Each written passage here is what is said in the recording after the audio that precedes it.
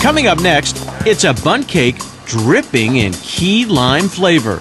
Learn how this decadent dessert is made and discover what superstar has made it a must have. Just ahead.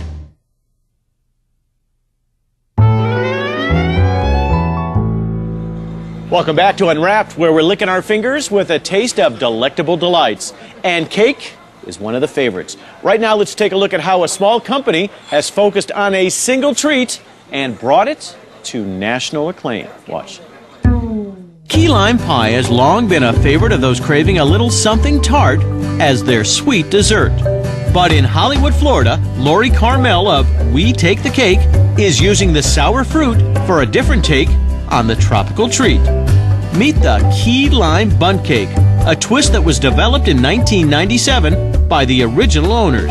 They were looking for a way to put a tropical flavor like key lime, but into a cake as opposed to a traditional pie. Took a lot of work to perfect the cake, and you know what? We're still perfecting it because it's a made from scratch cake. All key lime Bundt cakes begin here in the mixer, where sugar, flour, key lime juice, eggs, and secret ingredients blend together, forming a batter. But due to the excessive humidity in South Florida, they're adding an extra step to their baking process not commonly found in the rest of the country. The batter has to cool overnight to settle. Otherwise, the cake comes out too fluffy and it doesn't hold the shape of the Bundt pan. After 24 hours, batter is removed from the cooler and pours into greased Bundt cake pans holding 32 ounces of batter. Next, pans go into a 300 degree Fahrenheit oven to bake. After 40 minutes, cakes are removed and allowed to cool. Then it's time for some key lime juice.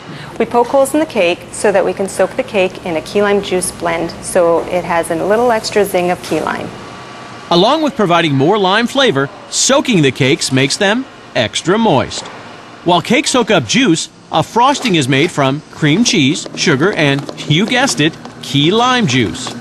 Since many of the cakes are mail ordered, pre frosting is too messy. Instead, 4 ounce cups of frosting fit into the center of the cakes. Cakes are then shrink wrapped, packaged in tins, and packed for shipping quickly. Because all our cakes are made from scratch and by hand without preservatives, our cakes have a five to seven day shelf life.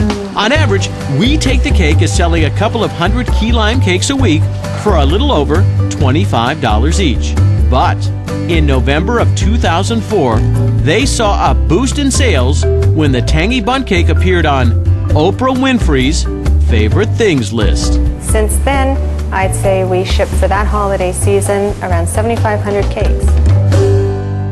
A Bundt cake